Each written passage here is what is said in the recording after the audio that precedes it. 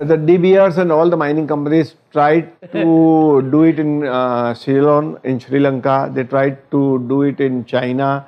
Many places they tried, but nothing came up as far as diamond cutting and polishing is concerned. And India has beaten all of them, and they had no choice but to survive, to de- be dependent on India. Because we have been able to deliver in this last 30 years. It requires a really hard work and knowledge of it. So 40 years we have been into the diamond cutting and polishing industry since 50 years. So the expertise which is required are easily available to us. And China jewelry manufacturing is really uh, doing well. And they are uh, growing even the lab grown diamonds of smaller sizes are being grown there. And they've got the uh, expertise to grow that. That probably we don't have at the moment.